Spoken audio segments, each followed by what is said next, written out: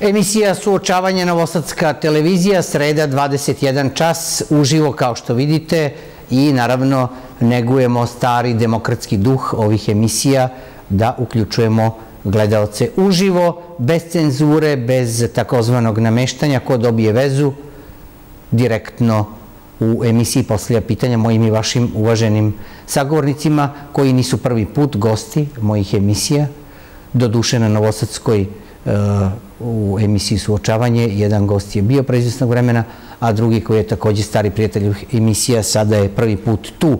Da ne okolišamo sa moje leve strane, doktor Milovan Radaković koji uvek izaziva uh, pozornost i komplimente publike. Doktor Radakoviću, hvala vam što ste došli iz Beograda da otvorimo mnoga važna, ugodna i neugodna pitanja. Dobro večer i hvala na pozivu. Sa moje desne strane, profesor dr. Ljubiša Despotović, kao što rekoh, stari uh, prijatelj ovih emisija i uh, čovek koga ste mnogo pratili. Podsjetit ću samo sa doktorom Duškom Radosavljevićem prema Galupu. Ljubiša, bit će davno da sad ne promašim. Ta emisija je prema Galupovom institutu uz zvaničan pečat imala oko 120.000 gledalaca samo u premijernom izdanju do duše na televiziji Most, ali uh, to je naš zajednički rezultat. Pa da podsjetimo i na to. Hvala vam što ste pronašli vreme za uvažene gledalce Novosadske TV. Hvala vam na pozivu. Gospodo, voleo bih da idemo ka nekim temama inspirisani Periklom ili Platonom ili Aristotelom ili Ljubiši će se možda dopasti uh, Weberom ili teoretičarima elita, ali ja moram početi ovu emisiju, pošto nas prate gledalci u Novom Sadu i u na prostorima bivše Jugoslavije i naši sunarodnici u Evropi i svetu putem YouTube-a. Moram početi sa regionalnim problemima, krizama, poteškoćama, a nismo mi tu pošteđeni, iako moramo se složiti da je stabilnost u Srbiji za sada ne mogu kucati u drvo, ali na zavidnom nivou. Doktore Radakoviću, počnimo od Makedonije. Naravno da vi, ozbiljni teoretičari i ljudi koji promišljate o društvu i o društvima, da ćete reći da su na sceni simptomi e, dubokih problema koji su u tom društvu, recimo, poznati unazad godinama i decenijama i neću dužiti e, s pitanjem, ali priključite i ovaj pogled da li je na sceni još jedan simptom bolesti zvane e, velikoalbanski projekat kada je o Makedoniji reč? Ja mislim da jeste, da je to očigledno, a dodao bih da je Makedonija, ja sam to negde i napisao, ključ južnog dela Balkana, i da je njen geopolitički položaj vrlo složen, da ona ima problema sa susedima, ne ovakvih kao što ima sa Albanijom, ali na delu jeste stvaranje Velike Albanije, a meni kao nekome ko se bavi političkim naukama, ko se bavi nekom spoljnom politikom, prosto je nezamislivo da je moglo da dođe do tiranske inicijative, odnosno da se o sudbini Makedonije rešava u nekoj susednoj zemlji i da dolazi faktički do neke nelojalne koalicije između pojedinim makedonskih političara i albanaca. Tako da je Makedonija inače bila problem, a sad je vrlo, vrlo ozbiljan problem. Kad kažem Makedonija, mislim na albansko stanovništvo u Makedoniji. I mislim da neke okolnosti koje su se desile oko Kosova i tako dalje nisu išle Makedoniji na ruku, ali da je i sama makedonska država vukla neke poteze kojoj se sada vraćaju. Makedonija je jedna od prvih država koja je priznala Kosovo. Da. Prosto mi je to neverovatno, ali to nam se dešava. A kako procenjujete današnju situaciju unošenja albanske zastave sa novim predsjednikom pa parlamenta, Džaferijem i tako dalje. I šta to zapravo uh, poručuje građanima Makedonije, Makedoncima, ostalim nacionalnim manjinama ili kako god to hoćete da nazovemo? Po mojoj proceni, Albanija, Albanci na Balkanu uopšte nisu neka sila. ali očigledno da iza njih stoji neko vrlo, vrlo moćan čiji mogu tako da se ponašaju. Ja bih, kad ste već to spomenuli, povezao unošenje albanske zastave sa izjavom gradonačelnika Bujanovca, u kome je on rekao da ne priznaje srpsku državu, srpsku vladu, nego priznaje vladu Albanije i predsednik Albanije. To je takođe skandalozna izjava. A ako mi dozvolite, ne znam koliko imamo vremena... Samo izvolite, prožit ćemo u Americi ima, U Americi ima jedan grad, San Diego, on je bio meksički. Ali u nekim ratovima Amerikanci su uzeli taj deo. Tamo je stanovništvo u San Diego uglavnom meksičkog porekla. Za pretpostaviti je da jednog trenutka gradonačelnik San Diego može da bude Meksikanac. Šta mislim, mislim, prosto postavljam pitanje, šta bi se njemu desilo kad bi rekao ne priznajem Belu kuću Donalda Trumpa, vladu Sjedinih američkih država, nego priznajem vladu Meksika. Koliko bi još bio gradonačelnik? I šta bi s njim Amerikanci uradili? Mi nismo Amerika, ali smo ipak država. Dakle, unošenje zastave je skandal, a i ovo što se nama dešava je skandal. Samo bih naše građane, odnosno gledalce, želao da podsjetim da Bujanovac nije grad na teritoriji autonomne pokrajine Kosova, nego je grad na užoj teritoriji e, države Srbije, e, vrlo je nacionalno složen, Albanci, Srbi, ima nešto malo Turaka i muslimana, e, nalazi se blizu administrativne granice sa Kosovom i dati jednu takvu izjavu direktno je guranje prsta u oko matičnoj državi. Kao i ovo unošenje albanske zastave, mislim da bismo mi sa makedoncima, ali sad kojim, pošto tamo ima dve da. stroje, da. mogli malo više da se rađujemo u suzbijanju tog nacionalizma, jer to, albanskog, jer to postaje bolest. Ali vi sami malo čas rekao ste treba da radimo na suzbijanju problema, a Makedonija je bez velikog okolišanja recimo priznala Kosovo. Pa dobro. Znate, To vam je kao kad prelazite reku, pa neko ako padne u reku, vi idete malo s druge strane mosta, onda padnete i vi u reku. Makedonci su verovatno mislili da će priznavanjem Kosova da izvuku neki benefit za sebe. Dešava mi se još gore situacija. Ali mi kao Srbija, zbog nekih istorijskih okolnosti koje, konotacija koje imamo prema Makedoniji, zbog svega što se sa Makedonijom dešavalo, mogli bismo tu činjenicu da prihvatimo sa određenom dozom rezerve.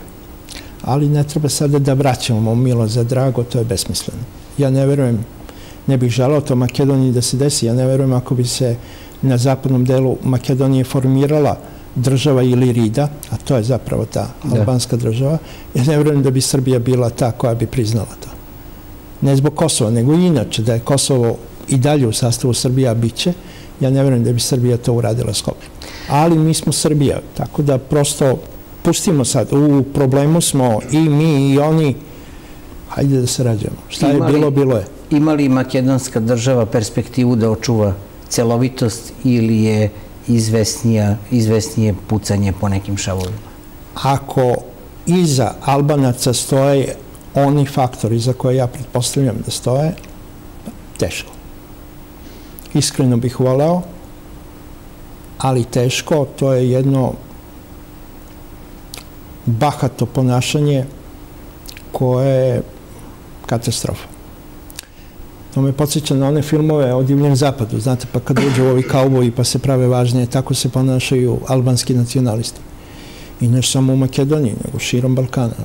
Mislim, ovim Grč koji, ja sam razgovarao s nekim Grcima, isto se tako ponašaju, u Eperu. Tako da makedonski građani koji su protestovali tražili su jedinstvenu Makedoniju. Dakle, ne Makedoniju samo za Makedonce, nego jedinstvenu Makedoniju, ali bez pevanja albanske himne u Skupštini Makedonije, bez unošenja albanske zastave. Možete da zamislite dokle to otišlo. I to toleriša Evropska unija, to tolerišu još neki faktori i bojim se da je stvar otišla predaleko. Tako da bojim se da će Makedonija teško u ovakvoj poziciji teško da će da ostane jedinstvena država, ali kao građanin Srbije pitanje je da li ja to mogu da kažem s obzirom da smo mi izgubili Kosovo. Tako da prosto bih kao građanin Srbije Makedonije predložio dobre usluge. Da Srbija malo pomogne Makedoniji, ali nemam kredibilitet za to. Jer bi Makedonci mogli da kažem, pa čekaj, a da je vama Kosovo? Tako da stvari su otišle predaleko. I u Makedoniji, a Boga mi i u Srbiji. Doktore Despotoviću, čuli ste i moje potpitanja doktor Radakoviću, pa vas molim da i njih inkorporirate u ovom uvodnom obraćanju.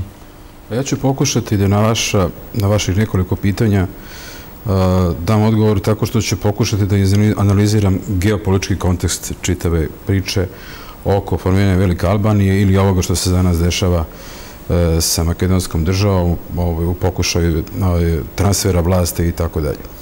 Zašto geopolitičke analize? Zato što su geopolitičke analize najbliže realnosti, zato što one na najdirektniji način dekodiraju procese koji su inače ovaj, e, tako kodirani i tako šifrovani da e, sakriju suštinu interesa koji iza njih stoje i zato što se kroz geopolitičke analize i definisanje geopolitičkog konteksta najbolji mogući način može i to je prilično transparentno videti o čemu se zapravo radi.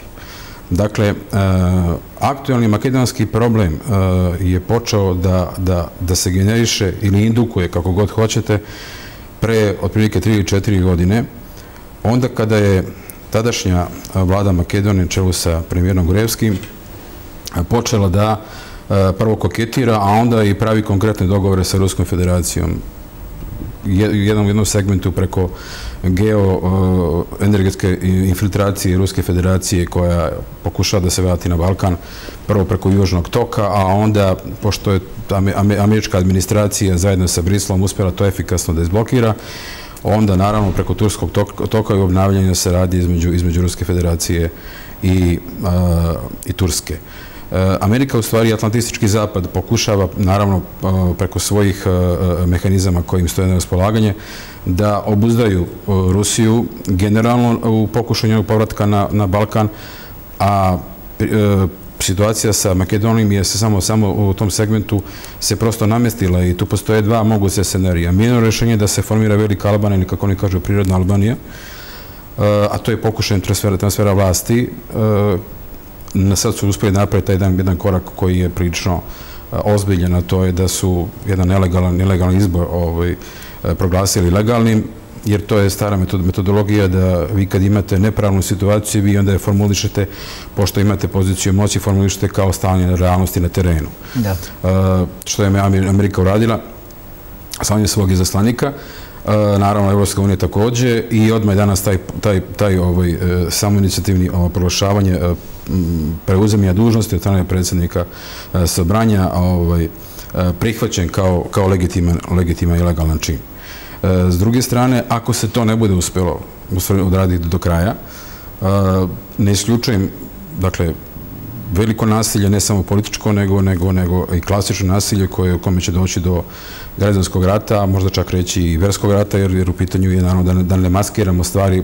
Građanski rat je u ovom slučaju kao i rat 90. godina bio pre svega rat religijsko-konfesionalne osnovi, iako je on kodiran kao građanski rat.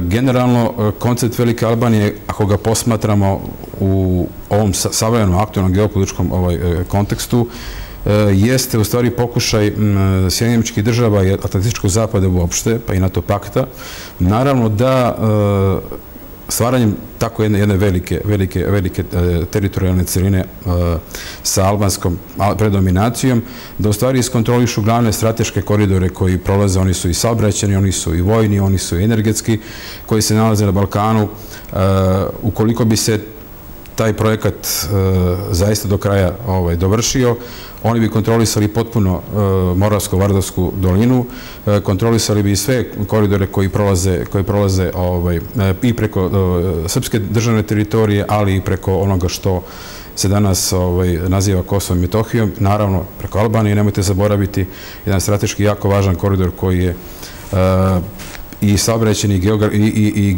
i energetski, a i potencijalno vojni, Bugarska luka Varna, Albanska luka Drač, Tako da, u čitavoj toj znači, analizi jako je važno da za stanovište američkih i atlantičkih geopolitičkih interesa da se taj prostor kompaktno iskontroliše, da imaju lojalnog igrača na terenu koji može da apsolutno ispunjavajući svoje geopolitičke ciljeve i državne i nacionalne interese to, to ovaj, iskontroliše na terenu.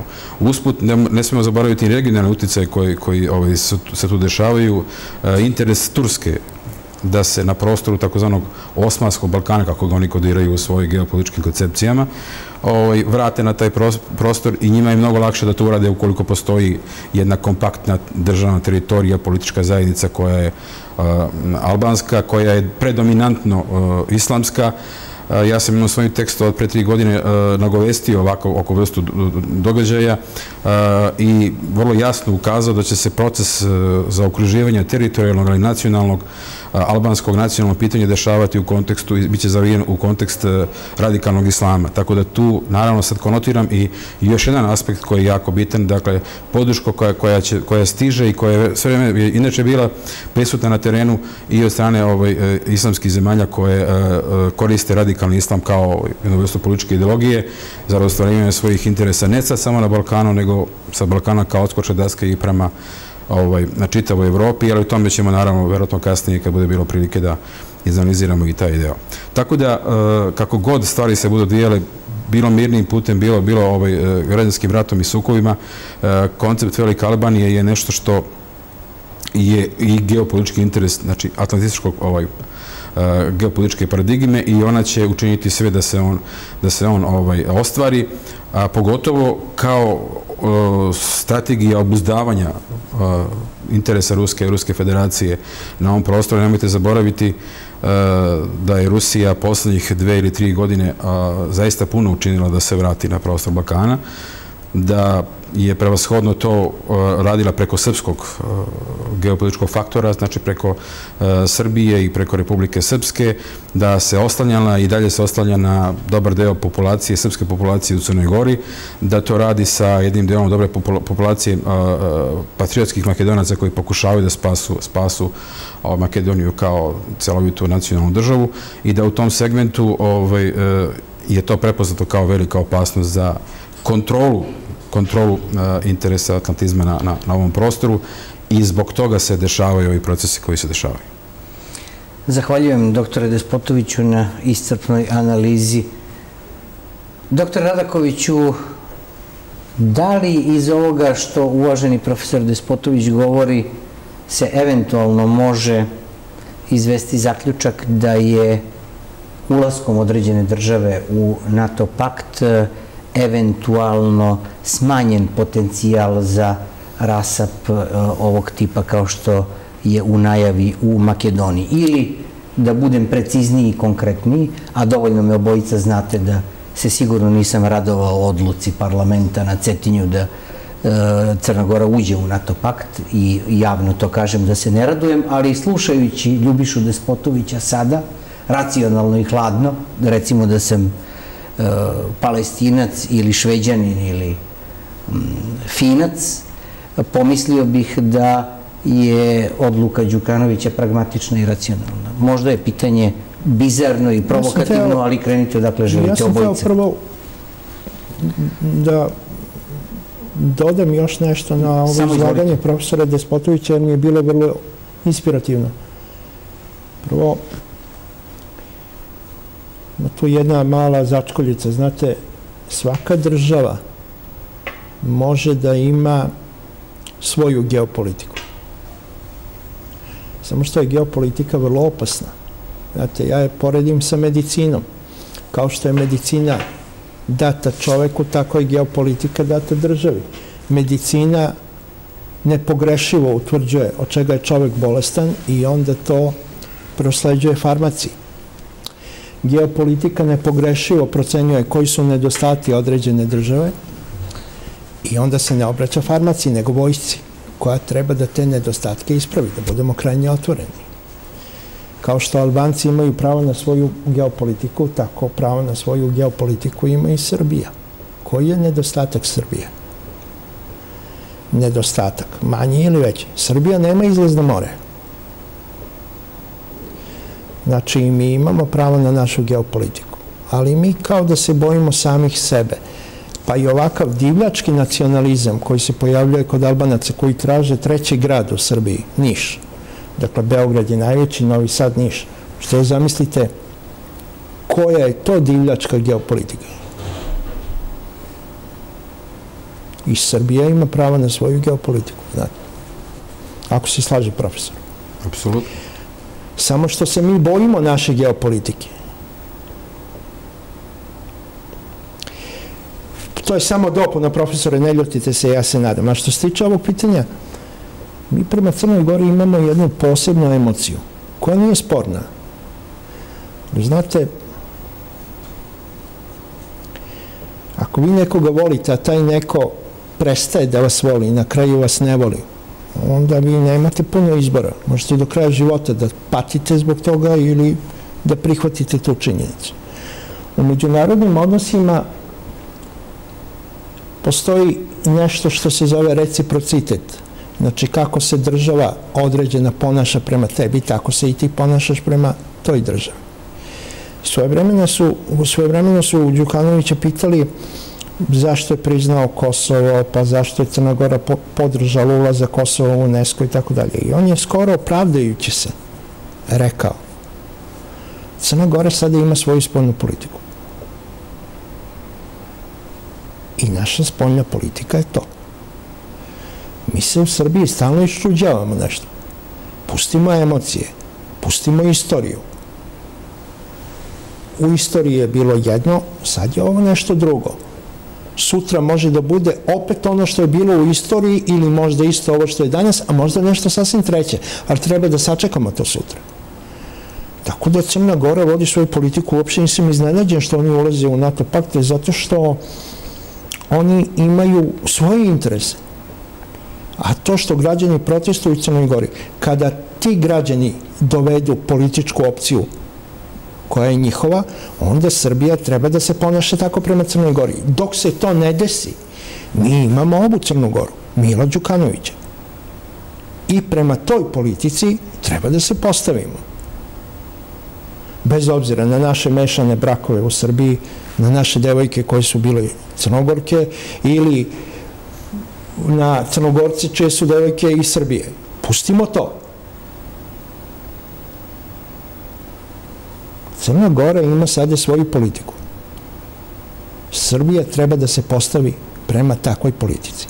Kada dođe neka druga vlast u Podgoricu i na Cetinje, to će biti neka druga Crna Gora. Onda i Srbija može da se promeni. Ali ovde treba da bude čist reciprocitet.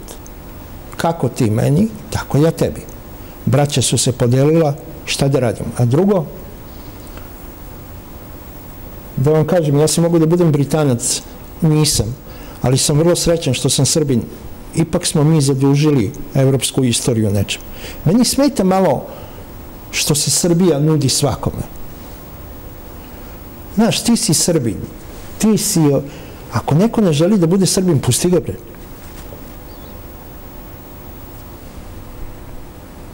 Crnogorci su na referendumu odredili svoju sudbinu, bar onaj većinski deo Crne Gore.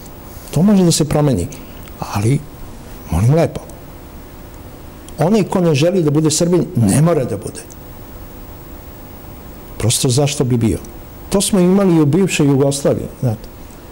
Slovenci, Hrvati, svi ste vi naša braća, mi ovo, mi ono. Nema potrebe za nuđenjem. Ova država ima svoju istoriju, kad kažem država, mislim na Srbiju.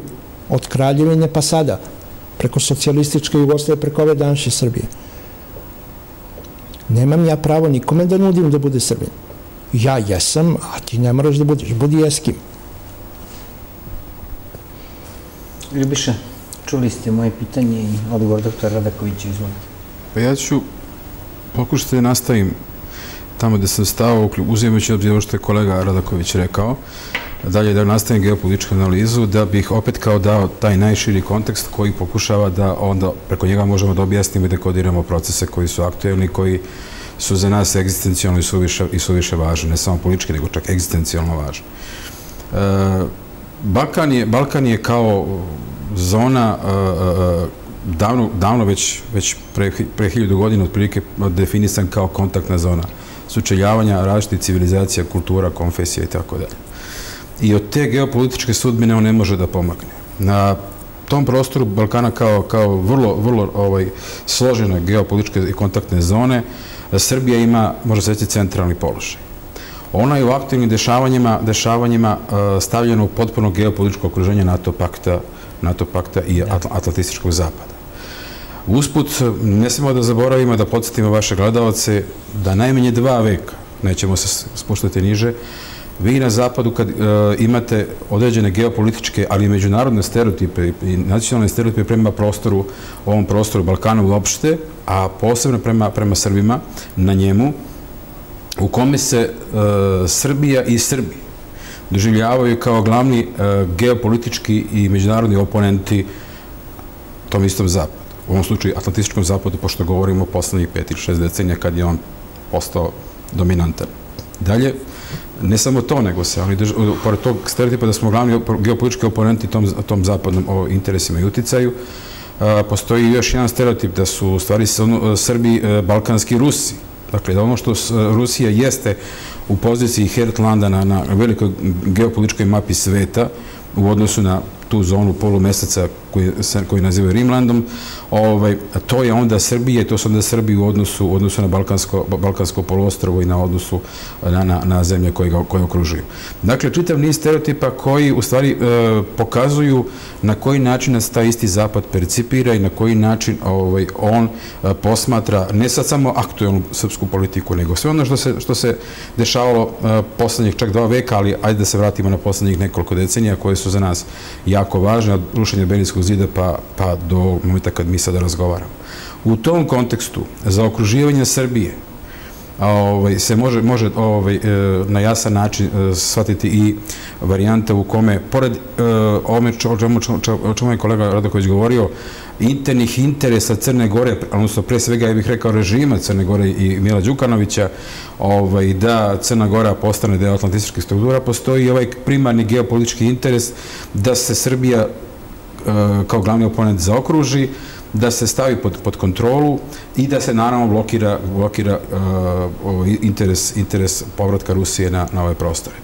I u, ta tri, u te tri konotacije možemo tražiti odgovore i na ove aktualne procese i na ovo što je za nas naravno bolno, zato što uh, najveći deo javnosti u Srbiji, uključujući mene samog, neče sada kao naučnika, geopolitiča, nego, nego i kao čoveka, je taj prostor doživljavam kao, kao par excellence srpski prostor, uh, doživljavam kao nešto što je silom upravo ovih procesa koji sam malo pre naznačio doveo do, do, do disolucije i, i, i, i ovaj, proglašanja nezavisnosti, nezavisnosti Crne Gore u kome je taj režim pokušao da spase prvo sebe i svoje lične interese, a onda u okviru toga naravno da igra i ovaj, na kartu geopolitičkih interesa tih velikih geopolitičkih igrača.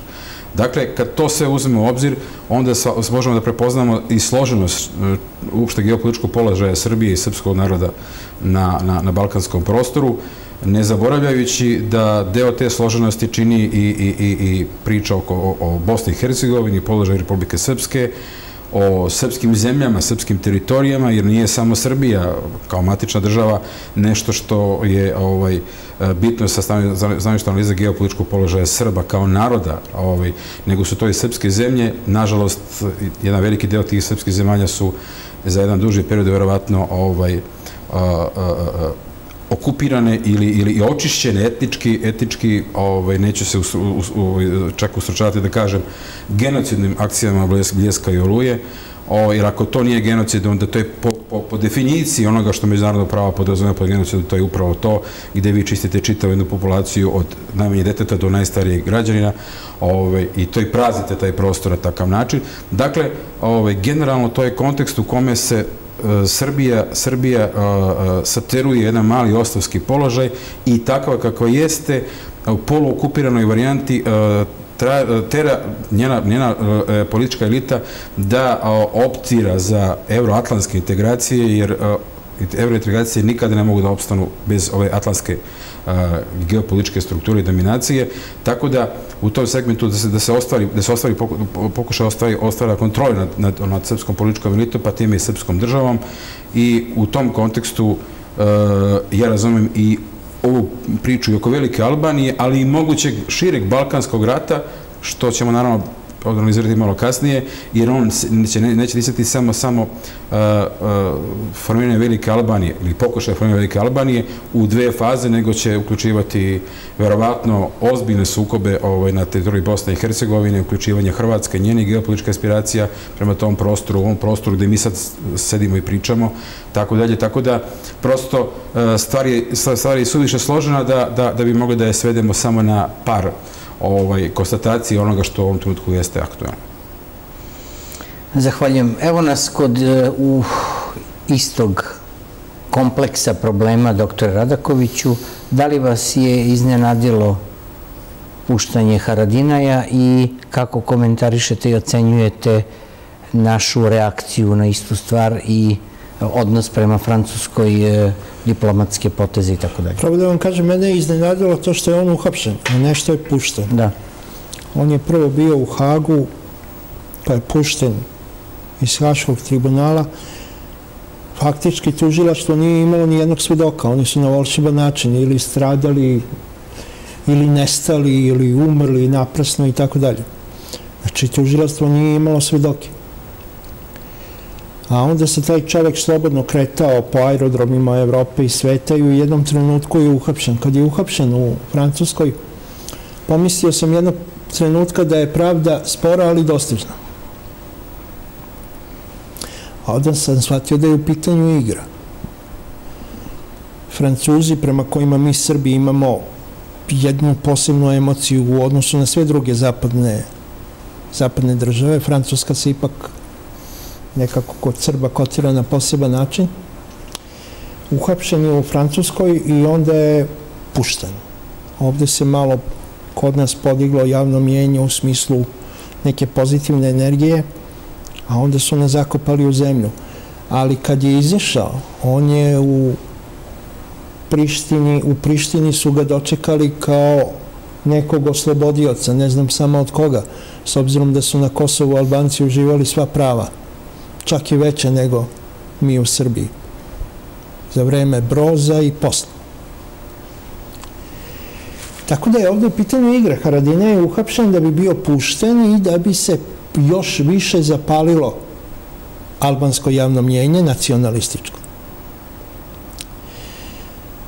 Danas sam čuo da je Haradina poslao jedno pismo Aleksandru Vučiću u kome mu malte ne pretećim tonom kaže da Vučić ne dira Albance i tako dalje. Ja živim u ovoj zemlji, ne znam šta je Vučić uradio Albancima. Nije uradio nikome, kamalo Albancima. Naprotiv, on ih čuva. Da ja se ne budem advokat Aleksandra Vučića, ne treba to ni meni ni Vučiću, ali mislim, prosto su to takve laži. Prosto imam utisak ponekad da skrivena kamera ovde negde na Balkanu radi, pa hajde da se šalimo sa Srbima, znate, bez obzira koliko smo siromašni, mi imamo neko svoje nacionalno dostojanstvo i treba da ga polako počinjemo da ga pokazujemo. Kao i da počnemo malo ozbiljnije da se bavimo srpskom geopolitikom. Znate, Dara je prevršila meru, mislim. Da iskoristim jedan izraz koji nije naučan, nije intelektualan, ali je uličan, pošto ovde imamo situaciju kao na ulici. Tako da je puštanje Haradinaja još jedan skandal, ali taj skandal ima još malih, znate, to je kao zemljotres, pa onda imate one propratne reakcije. Prvo je brat od Haradinaja rekao, ako izručite mog brata Srbima, onda će stradati svi Srbi na Kosovu. I ovde je to vrlo ozbiljno osvaćeno u našoj vladi. Pa onda ovo pismo danas preteće pa onda ovo, ono, znate, izgleda da je ta porodica Haradinaj negde vrlo visoko kotirana i da ima jako široka leđa, u smislu neko stoji iza njih. Jedna porodica preti jednoj državi, to je nevjerovatno, pa nisu Rockefellerovi. I to na vrlo vulgaran način, ako si nevin, izađi pred sud pa dokaži to. Čemu je problem? Čemu je problem? neko ko je nevina treba da se plaše svuda. A onda ima još jedna stvar, jedan kontekst koji je prilično uvredljiv. Rečeno je kad je bio pušten, znate, mi ćemo pustiti Haradinaja jer izručenje Srbije za njega predstavlja opasnost.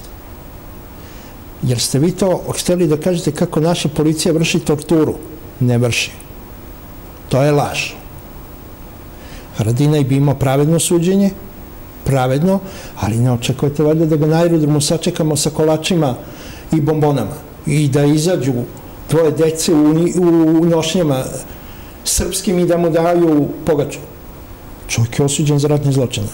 I drugo, jedan cinizam koji zaista prevazilazi sve granice. On je ne, na, napisao neku knjigu i u toj knjizi je sasvim otvoreno rekao da je ubijao srpsku policiju, da je terorisao građane srpske nacionalnosti i tako dalje. Prvo, policija je na Kosovu vršila svoju ustavnu dužnost. Znači, ona je branila teritoriju države Srbije. To radi valjda svaka policija. Pored drugih stvari, juri kriminalci i sl. Sad se pojavio neki čovek koji kaže ja sam ih ubijao a terorisao sam i drugi građani srpske nacionalnosti. I onda, smo, onda je srpska država to, tu njegovu monografiju, kako mi kažemo u institutima, odnosno knjigu, priložila kao još jedan od dokaza, a onda je dobila odgovor da su to umetničke slobode. Pazite cinizam, pa nije on pesnik. Bio pripadnik terorističke organizacije. Za Albance je on gerilac, oslobodilac, ne znam šta, ali znao mi šta je bio. I on se umetnički izrazio u toj knjizi. Da pustimo mi Haradinaja, nego mi treba da porazmislimo zašto nam se rugaju i šta ćemo da preuzmemo u tom smislu. Znate, ovo je ruganje. Vi pretite šefu države pričate kako ćete Srbiji da uzmete treći grad po veličini.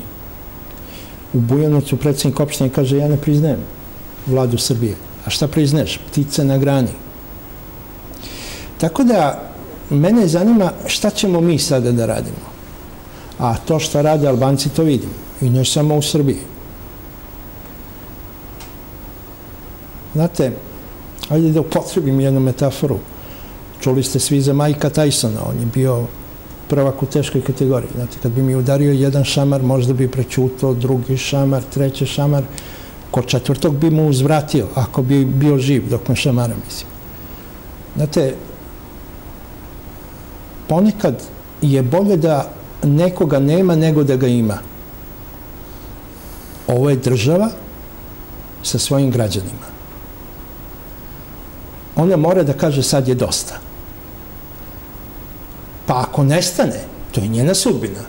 Inače ovo, da se podsjetimo mi šta je pre ovoga bilo, silovanje naših žena, naših monahinja na Kosovu.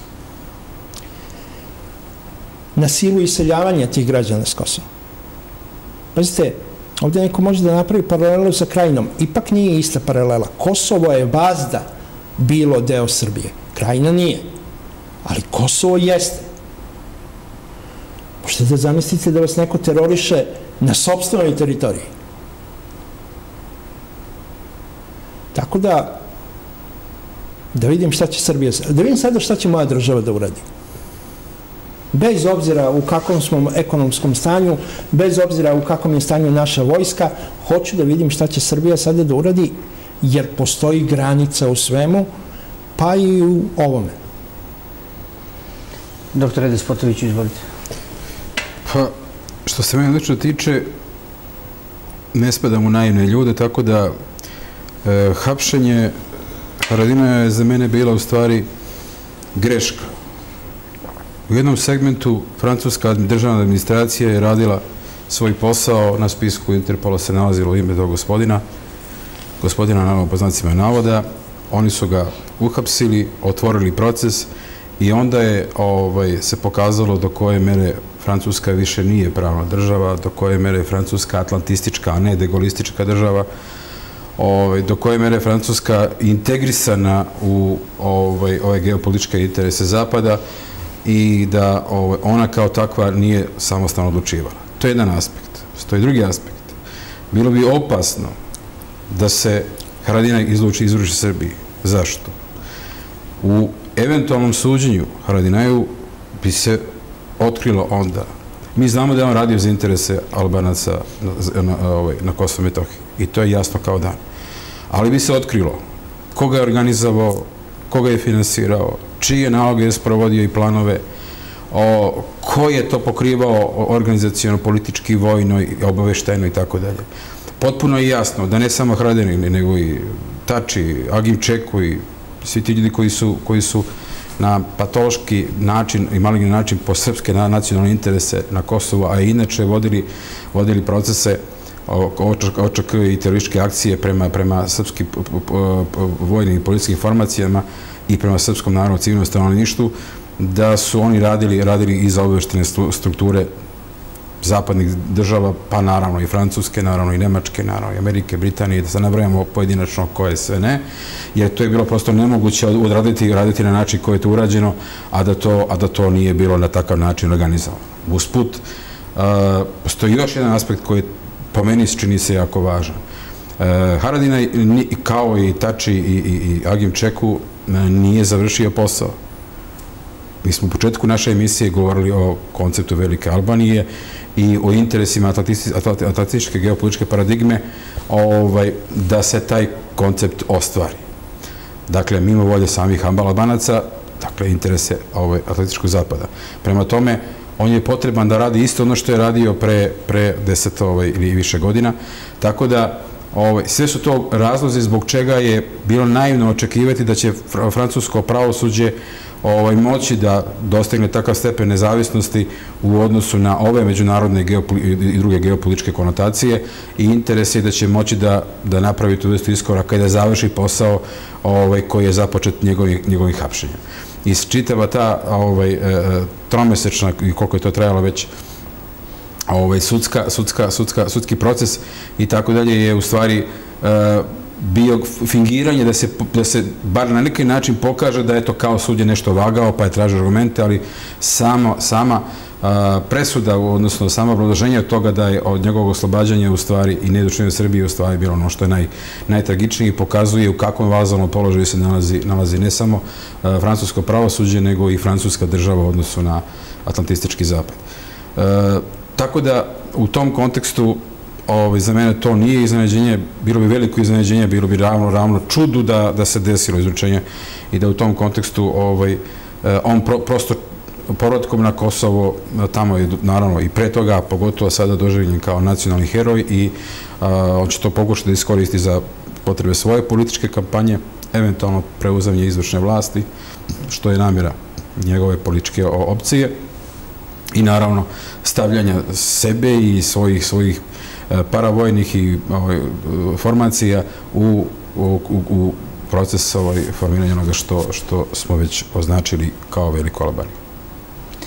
Doktor Radakoviću, rekli ste malo čas da bi trebalo videti šta i kako dalje i to je upravo jedno od ključnih pitanja koji su optimalni modeli naše spoljne politike u vrlo delikatnom periodu koji je pred nama.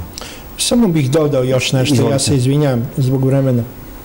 Ova priča kako Albanci ucenjuju Evropsku uniju, za Boga, ako ne uđu u Evropsku uniju, Albanija će da se spoji sa Kosovom i tako dalje. Da se mi razumemo, ovo je bolno, ali to čini, oni su već omiđili svoj nacionalni prostor.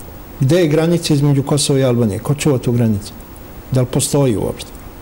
Postoji neki verovatno graničari koji ovako još mu zdravo sugo, zdravo čirimi i ovaj pređe iz Kosova u u Albaniju i obranu. Znači, ta granica je fiktivna. Ako uopšte postoji. A ako me pitate šta bih ja iz svoje neke skromne pozicije radio, moram ponovo da pohvalim vladu. Da je ona hladne glave, da voče vrlo pametne poteze. Ovaj diplomatski demarš Francuskoj je vrlo izbalansiran. Ne bi bilo dobro da smo prekinuli diplomatske odnose sa Francuskom, ne zato što je to velika sila, nego zato što bi moglo da nam se uh, predoči kako smo emotivni. Ne, ovo je dobro izbalansiran potez. Mi smo doveli naše odnose na vrh neke piramide, gde možemo da ih prekinemo. I zamrznut ćemo odnose sa Francuskom na tri meseca. To je jedna novina u diplomatiji. Ne znam da li je to još neko primenio, ali ko se toga setio svakom čast. Zašto? U Francuskoj će ubrzo biti izbori.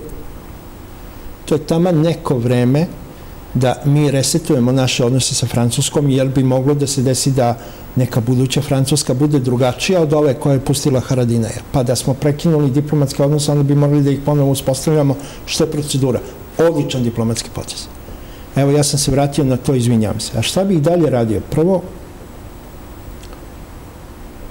naša diplomatija sada mora da bude aktivna na Balkanu. Ona se uglavnom usmerila na otvaranje poglavlja na Evropsku uniju i tako dalje. U redu je. Ali komšije su komšije. Znači, prvo što bih uradio, napravio bi neki mini neku mini konferenciju ili mini summit na kojoj bih pozvao neke balkanske države, ne sve. Prvo bih pozvao Grke i Bugare ta konferencija ne mora da bude javna, ne mora da bude tajna, ali prosto ne mora da i se daje glamur. I ne mora da bude na najvišem nivou.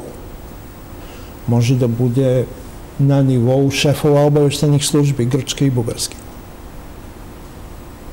Na tom nivou, ili može još i na nižem, ali da mi malo intenziviramo saradnju sa Grčkom i Bugarskom. Bez obzira na istorijske konotacije. Pustimo istoriju sada. Možda će mi neki istoričar zameriti, ali prosto je sad ovo neko drugo vreme. Znači, prvo to. A onda bih direktno razgovarao sa Berlinom i pitao Berlin šta mi da radimo sa Albancima i Albanijom. Jer se ovde ne ruši samo Srbija, Makedonija, sutra Grčka, Crna Gora i tako dalje. Preko Albanaca se ruši Evropska unija iza Albanaca neko stoji, a taj ko stoji iza Albanaca možda ne želi jednu jaku Evropu. Možda je naviko da bude patron nad Evropom, pa sad Evropa malo sazreva, malo pronalazi sebe, ne ratuje više i on se osjeća suvišnim. Neću da kažem ko bi to mogo da bude. Možda se namerno pravi, pravi Velika Albanija, ali to Berlin mora onda da reguliše a mi ako smo evropljani, ako težimo toj Evropskoj uniji, onda ćemo svi stati iza najjače ekonomije u Evropi. Znate, za Velike Albanije se kriju mnogo veće igre nego što je Velika Albanija. Ono je problem za nas, ali to je velika igra od koje i Berlin može da se trese. A onda bih u sklopu te spoljne politike malo redefinisao naše odnose sa Rusijom. Mi idemo u jednom pravcu koji ne, u dva pravca koje ne vode ka istoj tački. Pa isto ovako. Mi težimo da uđemo u Evropsku uniju, a naša vojna saradnja se zasniva na vojnoj saradnji sa Rusijom. Šta će da se desi ako Evropska unija jednog trenutka kaže ne smete više da se oslanjate na rusku vojnu industriju. Prvo to. Drugo, moramo da se pomenimo sa jednom činjenicom. Dragi smo mi Rusima, ali mi nismo njihov prvi partner na Balkanu. Prvi partner je Bugarska. Bez obzira što je to država NATO pakta sada, bez obzira što je članica Evropske unije. Bugarsko stanovništvo je još uvek vrlo, u vrlo visokom procentu rusofilsko. Srpsko društvo jeste i nije, a oni jesu. Znači, njihov glavni partner na Balkanu, kao glavnog partnera, Moskva vidi Bugarsku. Da ne govorim o tome da Bugarska ima izlaz na Crno more, da je preko puta Rusija i tako dalje. Tako da, mi moramo da shvatimo da smo mi drugi, a ne prvi. I ako se mi borimo za tu Rusiju onoliko koliko možemo. Nećemo da sankcije, trpimo pritiske i tako dalje. I treće, šta je sa tim migovima? Jer oni dolaze u Srbiju ili ne dolaze. bilo je doći će krajem aprila, pa doće vamo, pa treba da se remontuju, pa ne mogu da se prebace do srpske teritorije, nego će da se rasklopi u delovima, pa će da se pošle. Pa čekajte, ajde da uradimo to. Najveća zemlja na planeti ne može da doturi jednoj maloj državici tovar, bilo kakav. Evo ja ću reći dva načina. Sleti Azroflot u Nikoziju na Kipar i naš Etihad. I samo prebace tovar vamo i vraćamo se. A može i direktno. Rasklopite avion, pošaljete putnički avion, rasklopite ovaj MIG i dođe na Surčin, odnosno na Nikolu Teslu. Čemu mi pričamo? A drugo, nedavno su dva vojna pilota dovezla dva miga i oni su bili ovako u odelima, samo su imali one komandare. Ta dva miga, jel oni spadaju u ovih šest koji treba da dođu ili je to nešto drugo? Čuo sam da su ostali tu u našoj bazi na Batinici. Koji su sada pa to migovi? A drugo, znate, i mi kao Srbija treba malo da se prizemimo. Mi hoćemo da nam partner bude najveća država na planeti. Znate, Nesporno da ta država ima razumevanje za nas, ali ona gleda u Kinu, gleda u Sjedinje američke države, gleda u Indiju, gleda u te ogromne države. Treba Srbija sa svojim kapacitetima da dođe na red. Doći će, a mora da čeka. A da li mi imamo vremena na Balkanu da čekamo? Šta treba? Haradina i da kaže sad je i Kragujevac Albanija. Dok mi sačekamo da dođemo na red u Moskvu, da li će da nas bude? Znači, redefinisati te odnose sa Rusijom, reći, a da, ima i ova stvar koju hoću da kažem, nas to prati, ta sistem odbrane SS-300, to nam je ostalo od ovih ratova 90-ih, jer je krenula priča da smo imali taj sistem da gradovi po Srbiji ne bi bili bombardovani. Novi Sad bi imao verovatno ostalo. I to je tačno. Ja sad vidite ovakvu situaciju. Mi smo tražili ponovo taj sistem, a onda je kod našeg premijera došao jedan ruski zvaničnik, ja sam zaboravio kako se on zvao i poklonio mu je maketu tog sistema. Znate, to nije lepo. Meni gori, ja nemam novac da platim taj sistem, a ti mi doneseš maketu. Sid gladom ne veruje. Tako da malo i Rusija ume prema nama da se ponaša arogantno, ali sami smo krivi za to. Znate, ti migovi iz Rusije koji treba da dođu, bili su na ratištu u Afganistanu. Kad su Rusi bili u Afganistanu? Pre 10, 20 godina. Ima jedna druga država koja je bila mnogo konkretnija. Belorusija. Belorusija je ponudila Srbiji migove koji su u operativnoj upotrebi. To znači lete, ne treba im nikakva Naravno da im treba tehnički pregled, ali u upotrebi su, znači lete. I konkretno Lukošenko je rekao, ja ću vam dati SS-300. Belorusija je kudi kamo manja država od Rusije.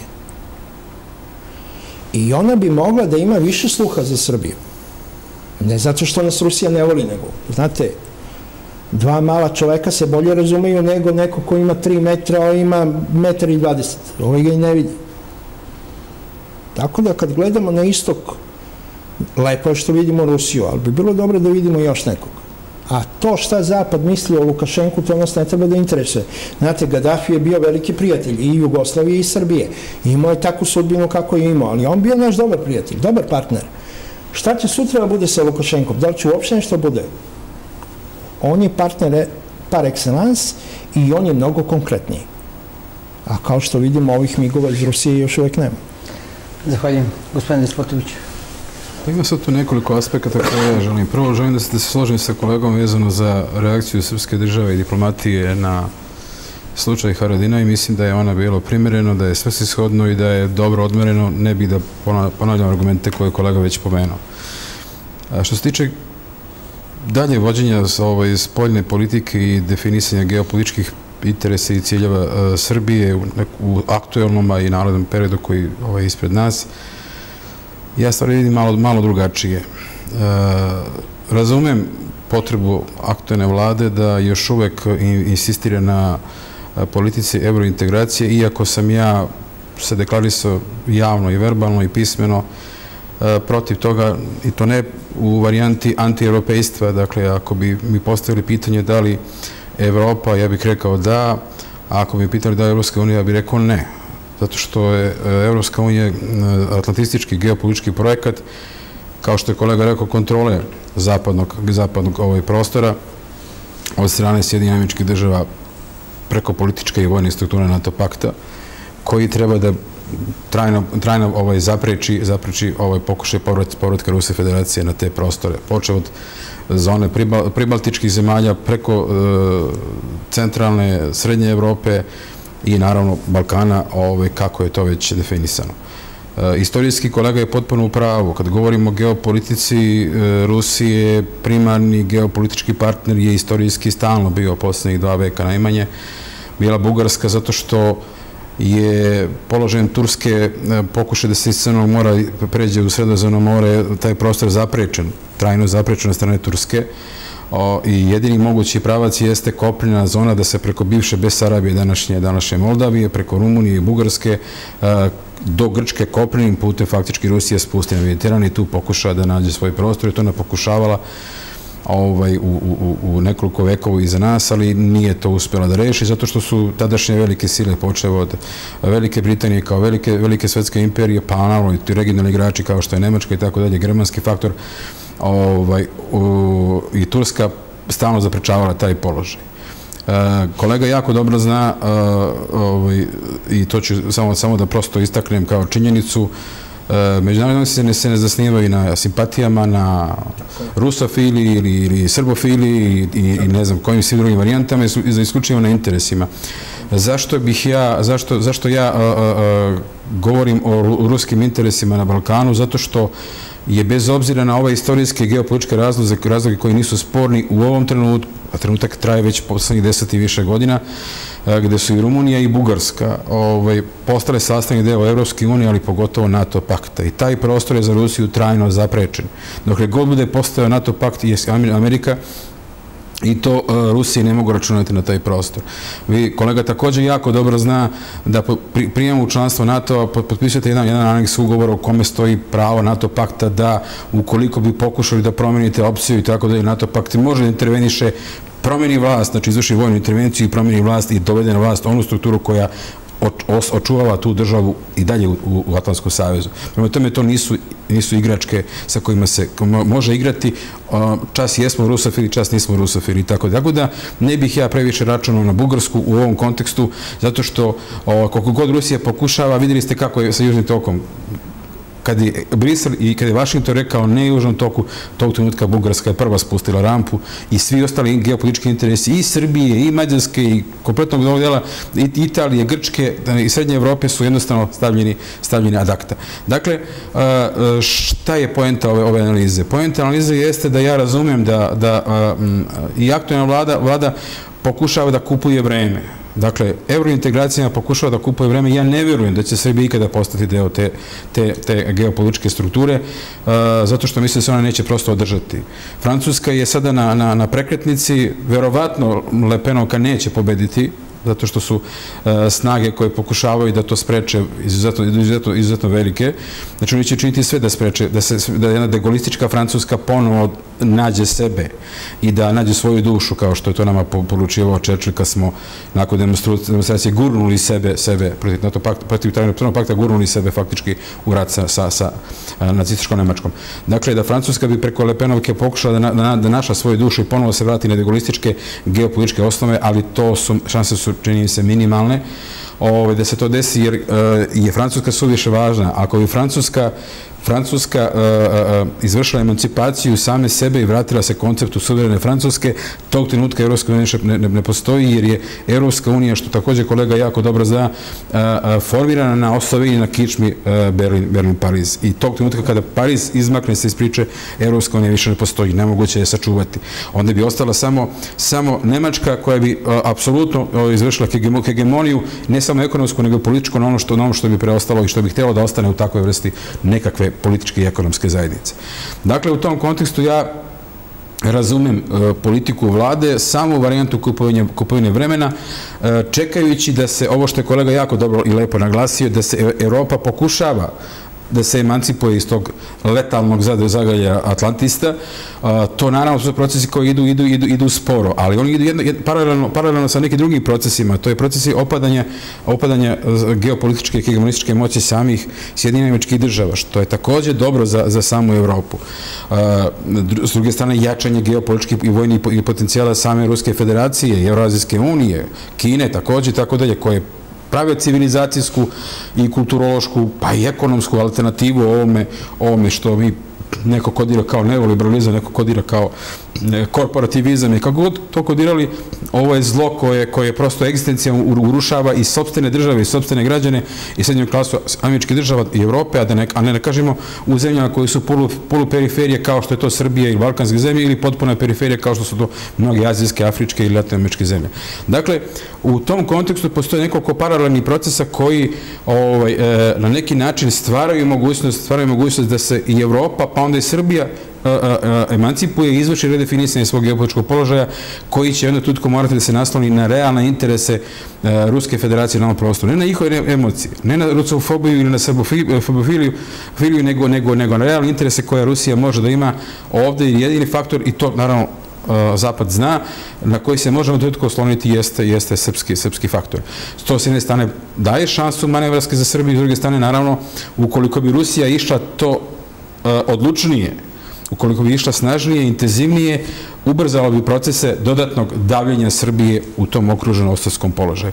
Tako da je to naravno jako teško, ako me pitate kao čovjeka i kao intelektualca, ja bih rekao da, odma Eurazijska integracijona zona, odma ODKB, bezbednostna struktura, odma garancije Rusi, to bih rekao kao čovjek intelektualac i kao, kao, kao neko ko se, čovjek koji se bavi politikologijom, geopolitikom i tako dalje, rekao bih oprezno, polako, rizici su jako veliki.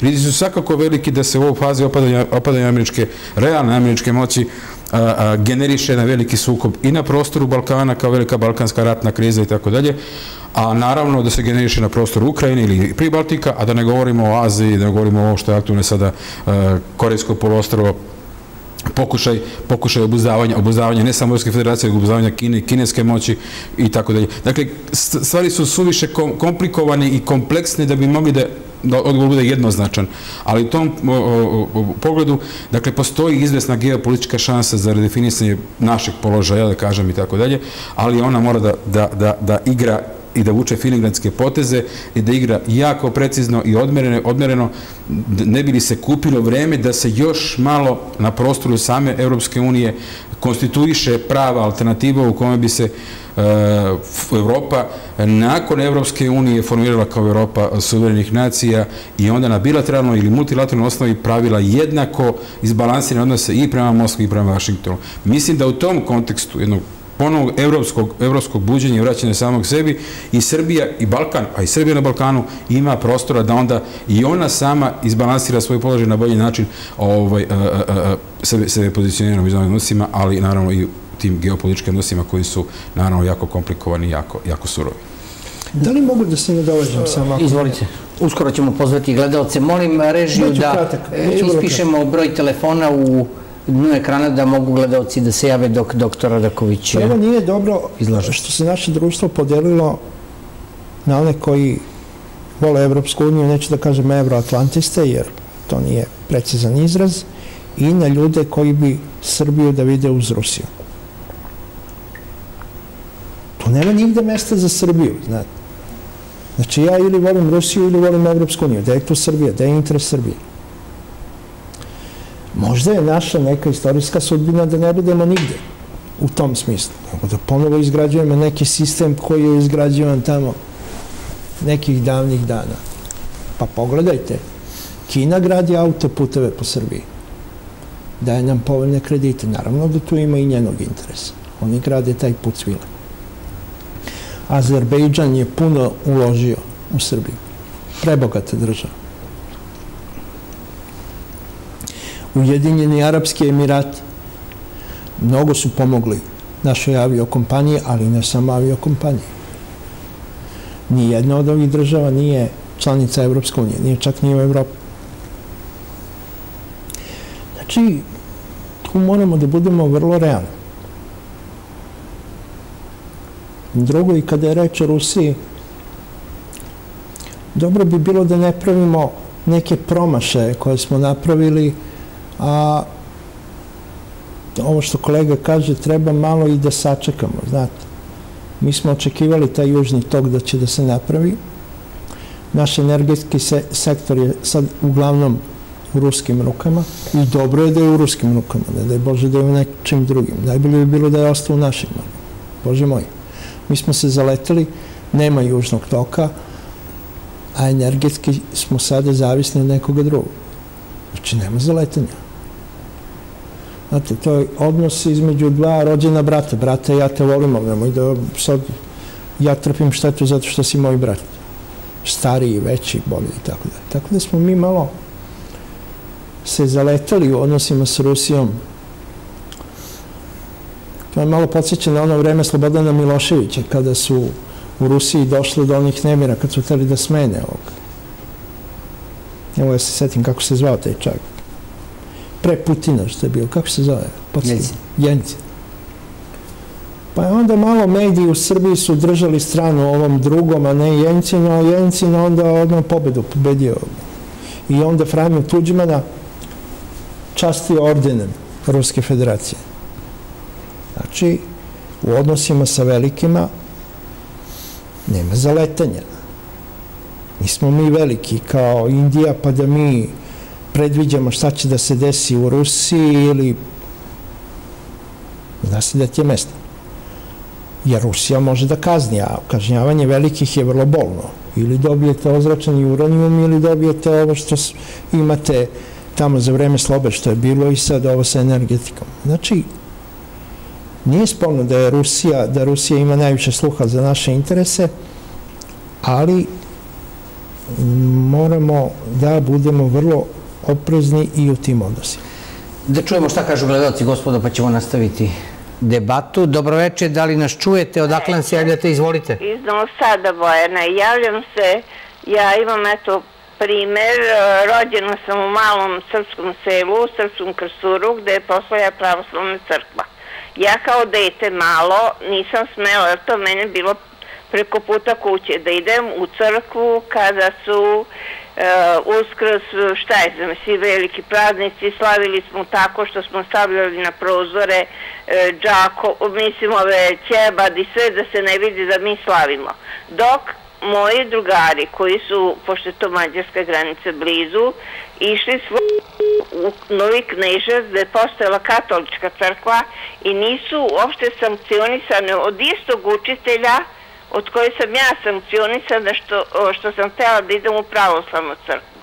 Da bi ja pitala tu decu jednog dana kad sam bila starija, dobro, zašto ti mene ne voliš, što sam ja srpkinja?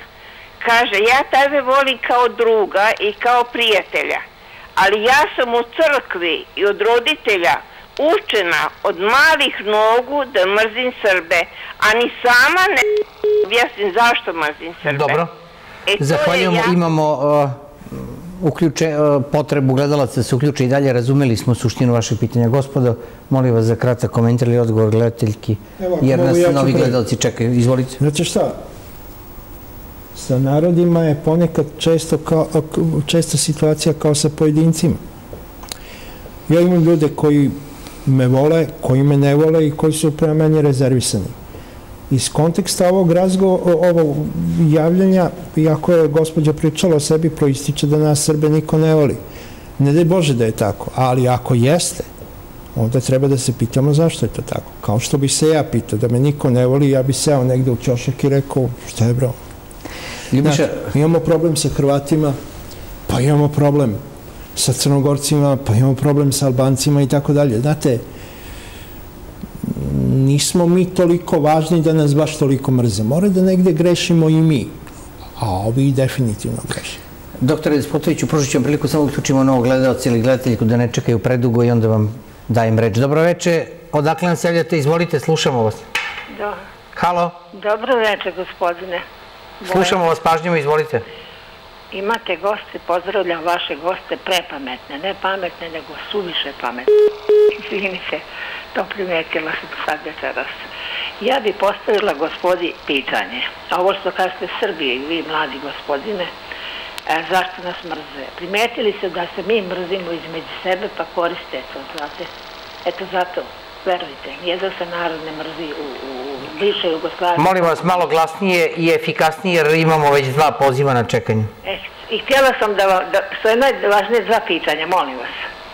Ako se desi da Amerika uspe i Zapad, da utope Srpsku, ovaj, Srpsku republiku, Muslimansku federaciju i da nas, male Ruse na Balkanu, po, po islame, malte ne, ako, Balkana, ako na Balkanu zavlada e, i o, o, Albanci, pa oni dalje bi htjeli da idu ka severu, znate, i, i, i ovaj, državama. i bogati Zaokružite pitanje, ističe nam vreme. Recite mi šta će biti s nama, hoćemo mi izumreti kao maje narod. Dobro, razumeli smo suštinu pitanja, doktore Despotoviću, izvolite. Pa, moj odgovor e, na pitanje, o pitanju o srbo, o srbo ovaj, e, mržnji ili o ovaj, srbofobiji, ajde da tako kažem, se locira u prostor e, religijsko-konfesionalnih ovaj, sukoba i interesa i on se iz tog aspekta generiše. On nije posledica privatnih, samo privatnih ili samo ličnih individualnih stavova pojedinih građana tokom, tokom istorije ili, ili aktualne situaciji, nego je on manje više generisan kao stav. E, bilo sa strane Rimo-katoličke crkve, što je gledateljka i pomenula, kao jedan zvaničan stav gde su ta deca u malih, malih nogu učena od strane roditelja, pa naravno i na, na nedeljnim misama, ovaj, da je to nešto što je poželjno ponašanje, obraza ponašanja koji se generiše prema srpskom življu. Na ovom prostoru koji oni kodiraju i smatraju svojim. To važi za prostor srpskih zemalja na Hrvatskoj, u Bode Vojvodini, ovaj, to, to važi za Bosnu i Hercegovinu i tako dalje.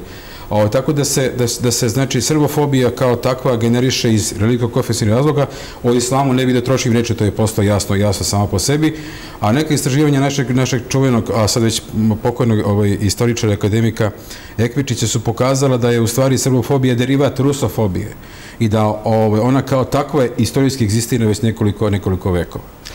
Dobro, imamo novog gledalca ili gledateljku na vezi. Dobroveče, odakle nam se javljate, slušamo vas Dobro večer, pažnjama. dobro izvolite. večer. Halo. Žele, veče.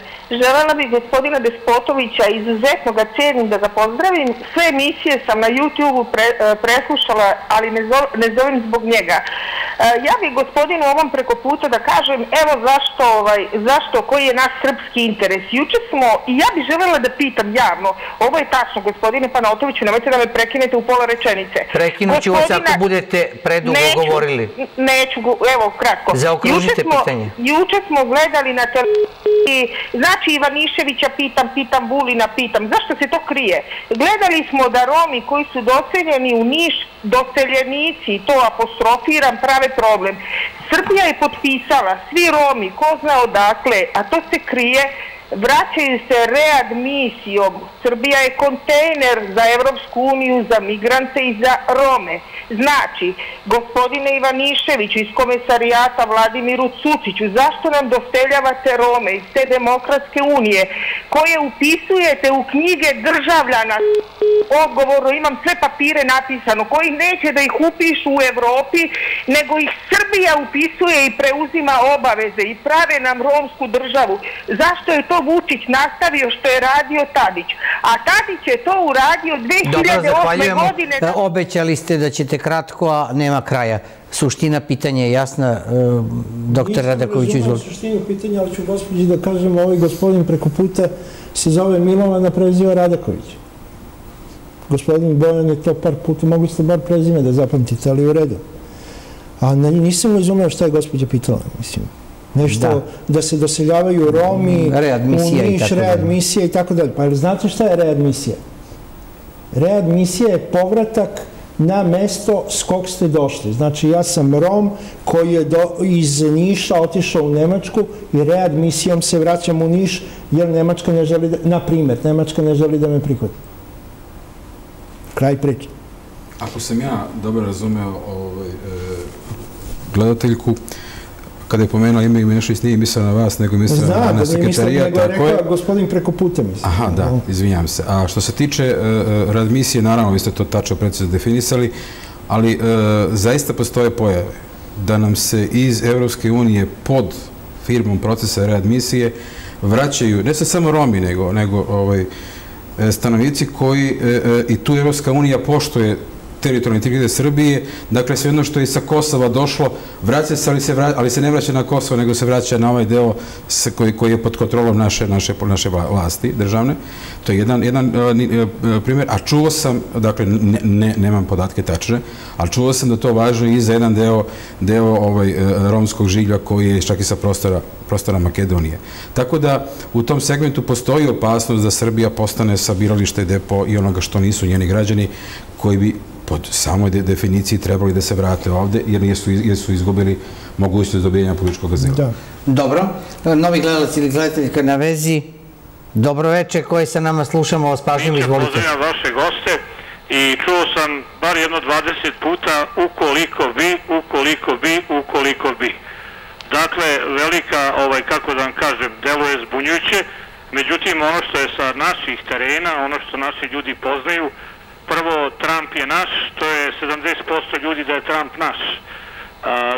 Peksinoć ovaj, Janjić kaže 17. marta su Albanci ne znam šta, onda, a ja kažem da pres, on, je, on nije dobro, ne seća se dobro da su poslastičarnice Albanaca u Vojvodini lupane pre 25 godina. Dakle, pekari i poslastičarnice. Drugo, istorijski događaj je ulazak Crne Gore u NATO pakt. Oni znaju gde i uvek oni znaju pre nas gde. Njihov standard života Makedonaca, Makedonci i Šiptari, da vam kažem, oni se slažu. Čak ovde u Vojvodini. Oni se slažu ko jedan, da vam kažem.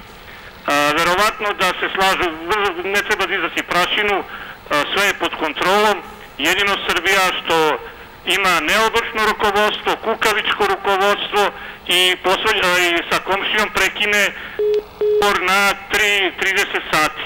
Dakle, ja sam se posvađao s komšijom i komšija za 30 sati kad se ohladi glava, ovaj, mislim da vam kažem, svi su znali da će Haradinaj biti pušten.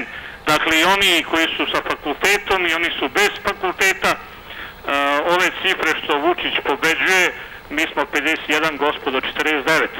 Šta god da bude, gospodo moje. Zahvaljujemo, imali ste priliku dovoljno dugo da govorite, nije 51-49, nego 55 koma nešto, tako da može, u demokratskom duhu je da postavljate pitanja, ali da izmišljate ili da krivotvorite cifre je neodgovorno i da li je rukovodstvo, voleli bismo da vidimo vas, pošto je rukovodstvo Kukavičko, kako biste zaratili sa NATO paktom. Na primjer, slušali ste malo čas šta su gosti govorili, a već smo imali prilike jednom da vidimo kako je to izgledalo i pomenuli su gosti koliko je osiromašenog uranijuma. Malo su bombe uradile koliko od raka umiremo. Prema tome, upravo je profesor Despotović malo čas govorio i oprostite javnosti radi i e, zarad naše dece tri puta se mora u geopolitičkim odnosima promisliti i ne tri, nego 30 puta da bi se jednom preseklo. Imate li šta da gledalcu kažete? Nemam komentar, gledalac iznosio svoje stavove, ništa. Da. Nije čak i pitanja postavio. Novi gledalac na vezi, doktor Radaković, upoću vam pružiti priliku. Dobro večer, odakle nas javljate, slušamo vas. Novog Sada se javljam. Slušamo vas pažnje. Centra Novog Sada. Ovaj, teo sam da vas pitam, da pozdravim se u studiju. E da vam dam jedan primjer. Ne, jako interesuje ko dozvoljava Romima kod arene u Novom Sadu, bioskopa arene, bivše, ovaj, da naplaćuju parking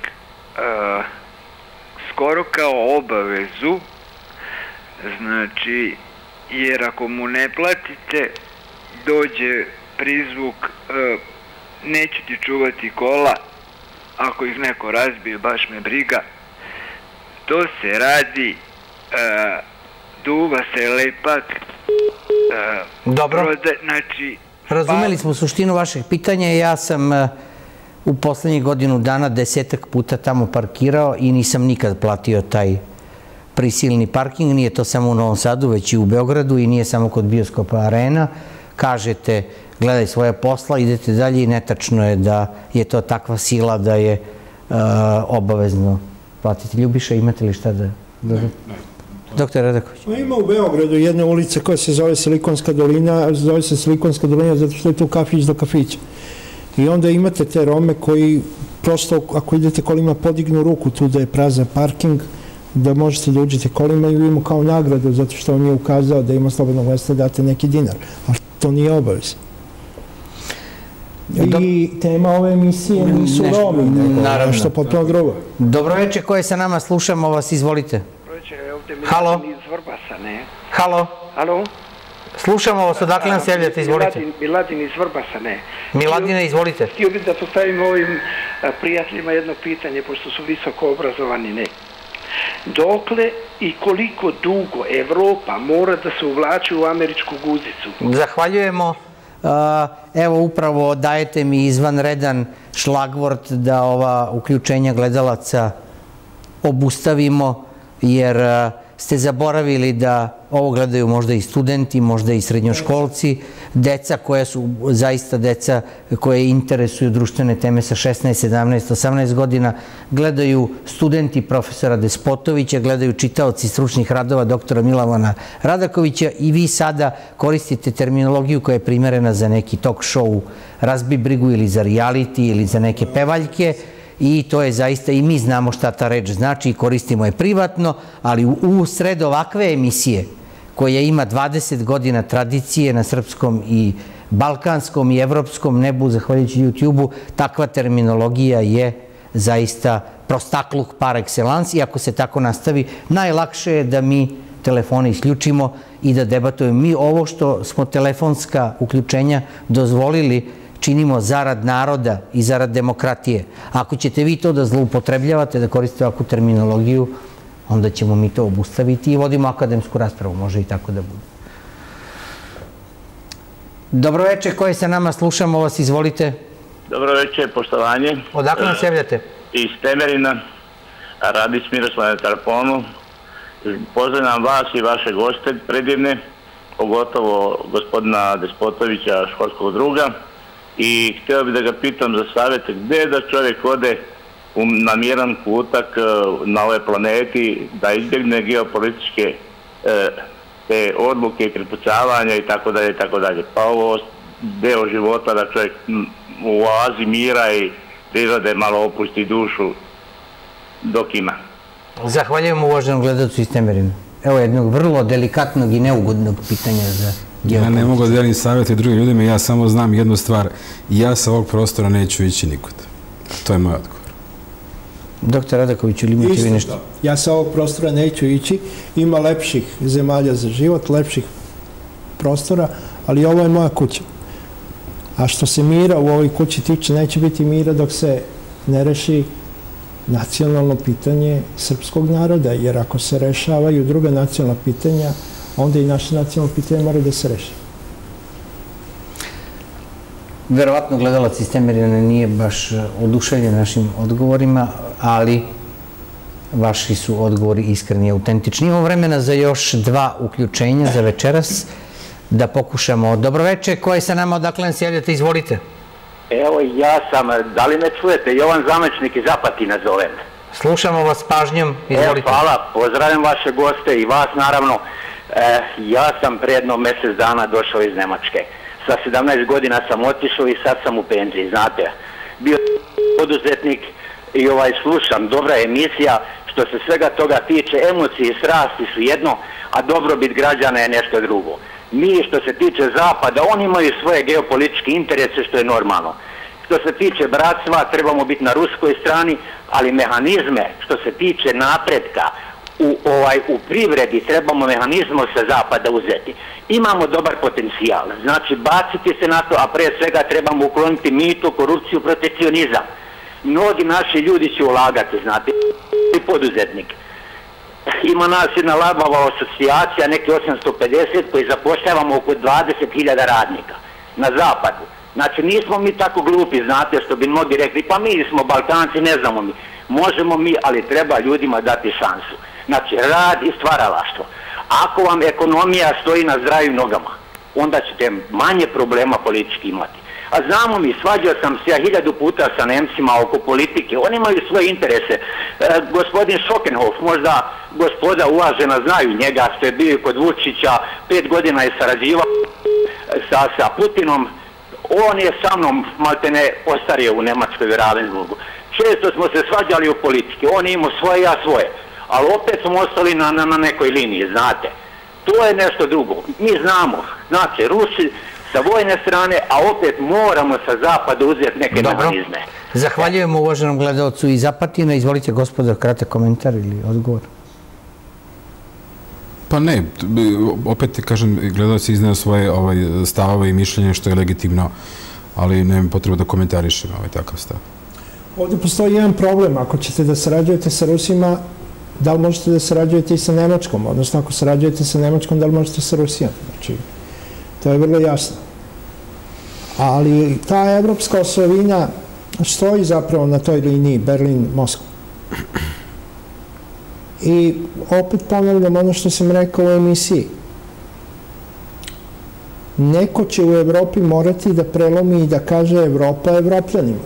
Ne mislim tu samo na Evropsku uniju. Imate skandinavske zemlje, neke koje nisu članice Evropske unije. Nije Evropska unija Evropa. Ne. Ali neko na evropskom kontinentu, neka država mora da kaže sad je dosta. Sad je dosta, Evropa pripada evropljanima i to je kraj priče.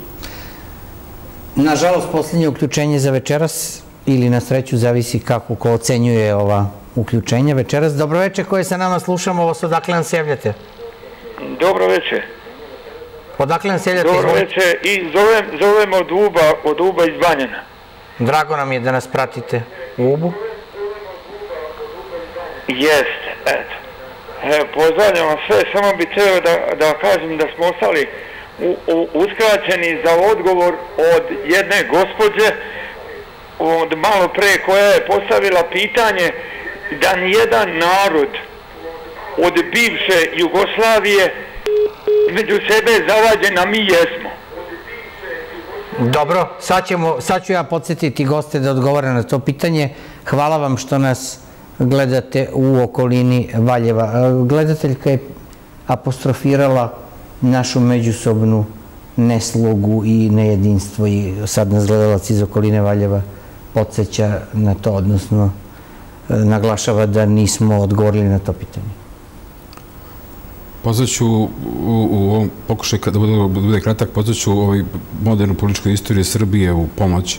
Dakle, od momenta kada je Srbija počela da se oslobađa od e, viševekovne turske otomanske okupacije, pa do dana današnjeg, u Srbiji su se na tragičan način, mogu bi skoro reći, sukobljavale dve Srbije. Jedna koja je pokušala da bude prom, promoderna ili modernizovana okrenuta Evropi i ona koja je ostala tradicionalna, koja je pokušavala da živi neka mehanizme koji su, koji su prihvaćeni i koji su živjeli, a, koji su bili e, egzistentni pa gotovo dva, tri veka. E, to se dovaljalo do naših dana i danas u Srbiji postoje te dve, te dve Srbije, s tim što ja nikad ne pravim ovaj znak jednakosti, kao što sam to rekao u emisiji, između, između modernizacije i europeizacije, zato što modernizacijski koncepti mogu biti, mogu biti različiti. Tako da u tom segmentu tačna je konstatacija da Srbiji imaju tu vrstu ovaj, e, tradicionalnog sukobljavanja između, između, između uh, ta, dva, ta dva pola različitog viđenja o tome gde Srbija treba da pripada, pripada ovaj, i to. Tako da, eto, to je nešto što je, što je deo našeg, našeg gotovo političkog folklo- folklora i bojim se da će to ostati još sa du, duži period napred. Doktor Adakoviću. Ne, mislim, prvo bih prešao nešto na lični plan. Pravo da vam kažem, kod nas vlada neka vrsta ljubomora što nam je još ušlo u etnu psihologiju. Ja sam nedavno nekim svojim prijateljima rekao da bi volao da svi moji prijatelji budu na vrlo visokim funkcijama. Da budu direktori banke, direktori nekih preduzeća i tako da. Prvo, zato što su moji prijatelji. A drugo, zato što bi se ja osjećao bezbednije. Ako ništa drugo, postićemo da nosim kafu, mislim. Znači, ali ima taj minus u svakom od nas koji nam kaže zašto on, a ne ja. To nije problem. Koji je sposobniji, pusti ga, ali on tvoj drug, pomoći će ti. Prvo to. A kada je reč o političkim tu temama, prošli smo mi taj dug put, znate, prvo monarhija, pa onda porodice koje su stradale posle dolaska komunista, pa ti, ta, te porodice koje su bile levičarske, koje su stradale tokom drugog svjetskog rata, pa su stradale dok je sistem bio monarhistički i tako dalje. I onda se to verovatno prenosi na naše odnose na međunarodnom planu. Srbija mora da nađe sebe, dakle najviše volim Srbiju i njene građane, pa onda mogu da volim Rusiju, Evropsku uniju ili nekog petog, ali najviše volim sebe.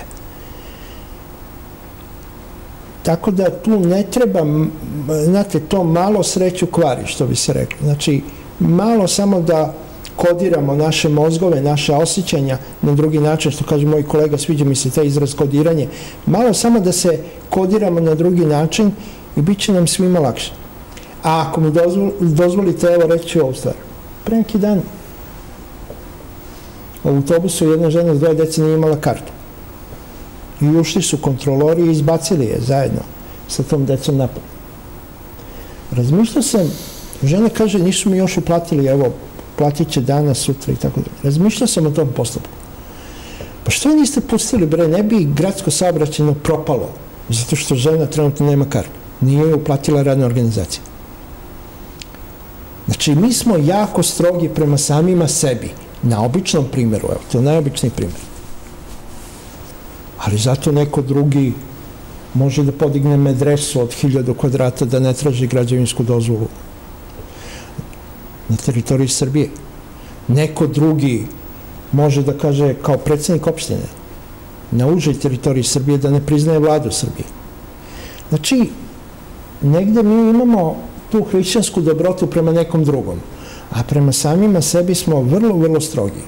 Tu nešto, znate, ona rečenica Srbin, Srbina, mačem seče. To nije dobro. Treba da razmislimo zašto je to tako. Gospodo, nažalost, vreme je isteklo. Imali smo vrlo dinamičan ton iz publike, Vox Populi u pitanju i da. to je uvek nosi, da, nosi i e, različite boje i tonalitete i to je prirodno na koncu. Dame i gospodo, bili su to doktor Milovan Radaković večeras sa moje leve strane i profesor doktor Ljubiša Despotović sa moje desne strane repriza, prva repriza ove emisije sutra u 14 časova i ako se ne varam u petak u 14 takođe, a e, u toku sutrašnjeg dana, verovatno predveče ili popodne, e, ova emisija biće i na YouTube kanalu Novosadske televizije, pa će moći da je vide svi oni koji su zainteresovani širom planete Zemlje. Doktor Radakoviću, profesore Despotoviću, još jednom hvala na trezvenim analizama i hladnoj glavi večeras. Hvala puno.